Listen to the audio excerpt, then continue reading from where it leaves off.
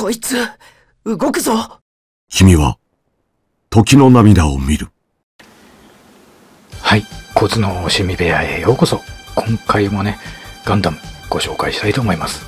はい、今回ご紹介するのは、こちら。はい。ついに来ました。超合金。はい。こちらのね、横浜ガンダム。今回、横浜行って買ってきたラスト、大鳥です。はい。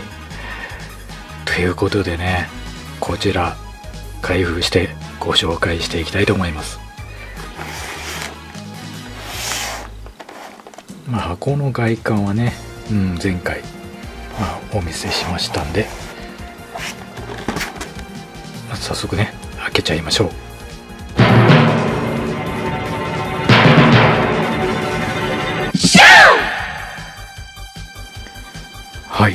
箱の中身をね出しました。はい。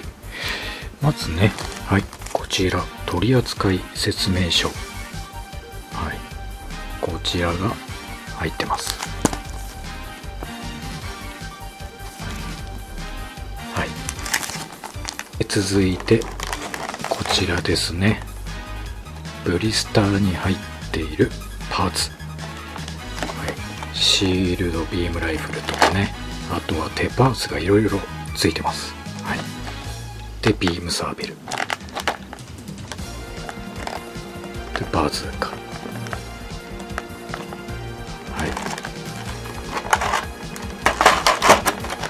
い。で、こちらが台座ですね。はい。ここにね、ガンダムファクトリー横浜と印字されてます。これいいね。うん、横浜横浜って入ってるだけでもね浜っ子はもうね歓喜ですよ。はい。でこちらの発泡スチロールに入ってんのが本体ですね。はい。テープでしっかり留められてますね。はい。早速ねこちらちょっと見てみたいと思います。はい。このね上蓋をね外しますとこういう感じで入ってますね、はい、白い紙。発泡スチロールがかましてありますね。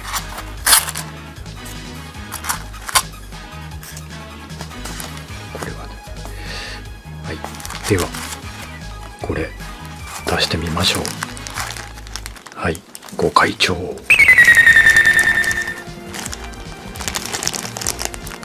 うわ。かっこよ。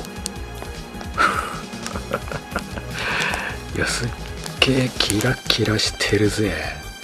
超合金だからね。ずっしりくるね。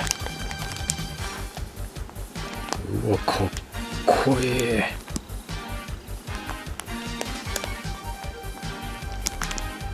はい。はい実際手に取ってみるとね。いやー素晴らしいな。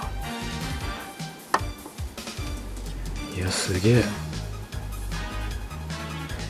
まあねここら辺のね関節とかねこういうのもね普通の原作ではないパーツなんですけれどもこれは動くガンダム用に造形したものらしいですね。これがちゃんと回ったり腕が上がったりするような構造にしてあるみたいなんですよね、うん、なので普通のガンダムとはちょっとね、うん、シルエットが異なる感じはしますけれどもね、うん、でここのねライトが点灯しているような感じ？こうちょっとね薄くねちょっとその色のシャドウが入ってるみたいなね、うん、吹き付けされてますね。こっちも緑なら緑で薄く、うん、発光している感じですね。この肩の部分もそうですね。周りがちょっと、色味がかってます。こちらが夜景バージョンですね、まあ、通常バージョンがないんであの見比べることできないんですけどこれね通常よりも白白い部分がちょっとね紫がかってるんですよね。うん。まほんとね比較するものがないんでね、この後ろのねランドセル、うん、このバーニア部分が水色に塗装されてるんですよ。これはおそらく発光してる感じ。うん。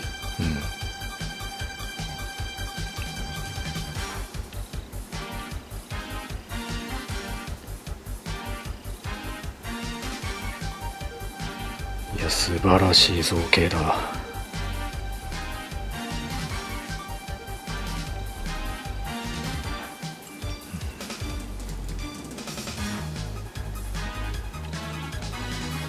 いやかっこいいな。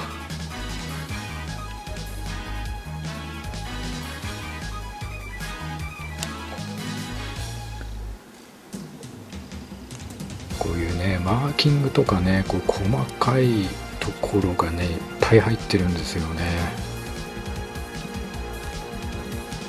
情報量がすごいこれ。うん。これは出来いいな。で残りのところにはビームサーベルの絵ですね。はい。とあとはこれはシールドを持つ時のジョイントだと思います。はい。だけですね。はい。で今回はですね一応パーツとかは必要最小限のものを取り出してねくっつけてでポーズを取って終わりという感じにしたいと思います。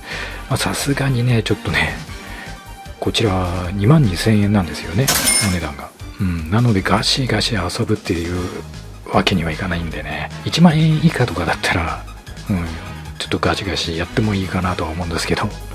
さすがにここぐらいのレベルになるとねあんまりそんなね遊ぶようなものじゃないよね。飾る感じになるんで。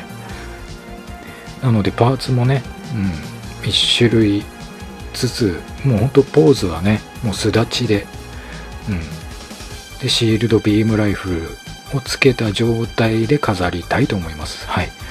なのでねそれらのパーツのみをつけてご紹介させていただきたいと思います。はい。その前にね一応説明書だけ、うん、パーッと見てみましょう。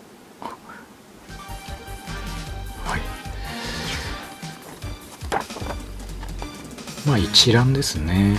うん。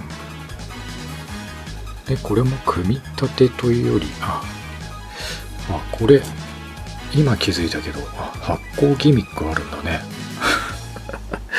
今更ながらに気づいた。オンオフがある。なるほど。ああバックパックのところに電池入れんだ、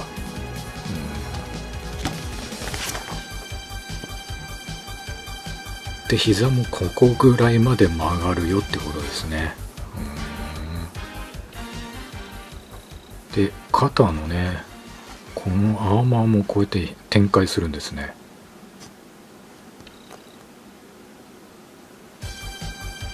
でビームライフルも、うん、腰の後ろの部分にマウントできると。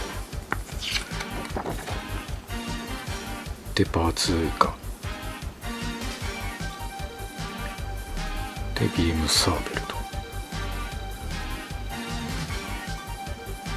でシールド。うんシールドは後ろにもね、うん、マウントできるね。はい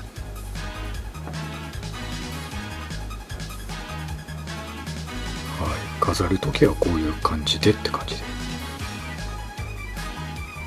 はい。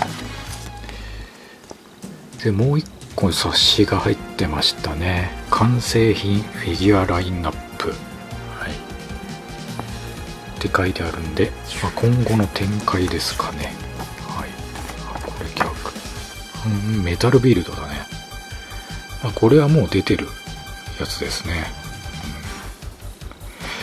うん、自分の期待してるのがこれですよメタルビルドの排入ガンダムメタルビルドで出るっていうだけでもすげえなこれまあでもねこれもね転売屋の餌食になるんでしょうね。うん。多分秒で完売です。いや買えねえだろうな。こういう見開きになるんだ。メタルロボット魂。大体もう発売されてるやつだね、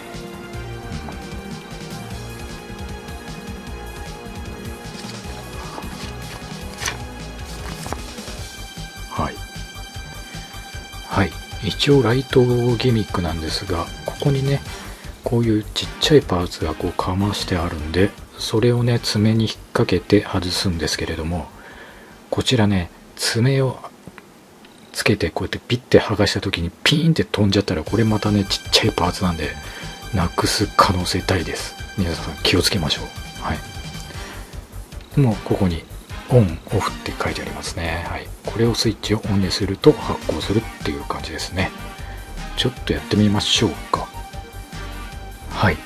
電池なんですけれどもね一応ねあったことあったんですよ。はい。でもね入ってたみたいですね。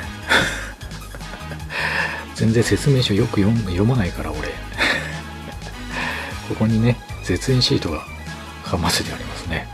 これを引っこ抜くと多分大丈夫。よいしょっと。これたまにね根元がね切れて入っちゃったまんまの時がありますからね。気をつけましょう。はい。ではね外したんでちょっと点灯させてみましょうか。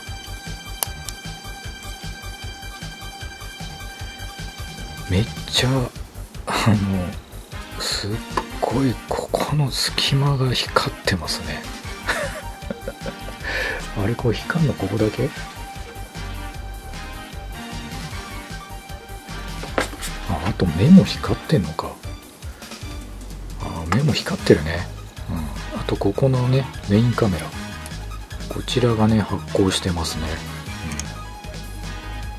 うん、ちょっと分かりづらいんでちょっと電気を消してみたいと思いますね。はい。こう見ると光ってますね。うん。胸部と胸部のダクト部分と目とメインカメラ。こちらがね発光してますね。へえ、まあ、発光すること自体知らなかったんでね。うん。これはいいはい。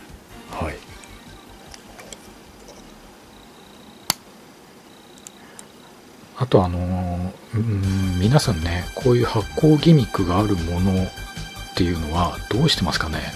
電池とかを。一応電池っていうのはね経年劣化で液漏れが発生するんでねもし長時間使わない場合は外すことをお勧めします。なのでね未開封とかでたまにねあの発光するフィギュアとか持ってる人たちがね長年保存してて小さ開けてみたら液漏れしててね、うん、ダメになってたっていう話をよく聞くんでね。もし使わない場合はちゃんと電池はね取り外して保管しておきましょう。私もねとりあえずこれは電池を外して保管します。はい。ちょっとね面白いデパーツが入ってたんですけれどもちょっとそれをねつけてみたんですけれどもこちら。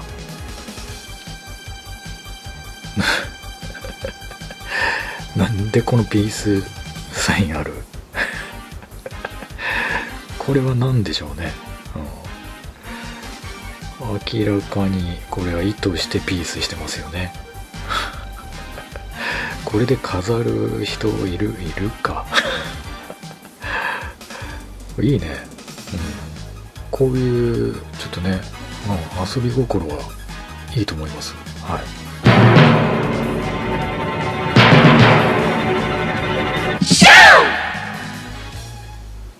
なんかねやっぱねパーツが多いとねやっぱちょっと遊んじゃうよね。はい。ちょっとねポーズ決めてみました。はいこちら。どうです？かっこよくないっすか？ビームサーベルがなげんだこれ。めっちゃ長え。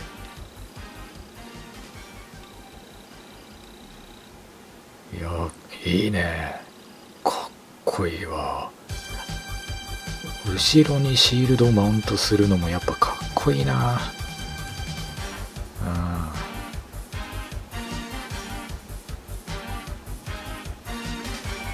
はい。全て付け終わりました。はい。いやこれはねめちゃくちゃすごい。いやねあのこの台座ね台座を見てもらえばわかるんですがこちらバズーカとかあとこの手パーツもね全種類。これマウントできるんですよ。手パーツを。はい、ビームサーベル部分もねこうやって置けるっていうね。であとねここにこれビームライフルの腰の後ろにマウントするジョイント、はい、これもねここに置けるっていうね。すごい。といった感じでね。いやこれはねいやお高いだけあるね。うん。いやこれはね満足です。大満足。はい。まああんまねガシガシ遊んだりこうベタベタ触ったりするとね劣化しやすいんでね皆さん気をつけましょう。はい。私もねもうこの状態のまんま飾っておきたいと思います。はい。でねもうほとんどここの土台とかに全部ジョイントとかね取り付けできるんでもうほとんど空っぽにできます箱の中身。はい。ということでね今回はねこの辺で終わりたいと思います。最後はねもちろん回転台座回してね隅々まで見ていただいてお別れしたいと思います。ぜひねこのチャンネルまだ登録していない方ぜひこの機会にチャンネル登録よろしくお願いします。ということで今回はこの辺でご視聴どうもありがとうございました。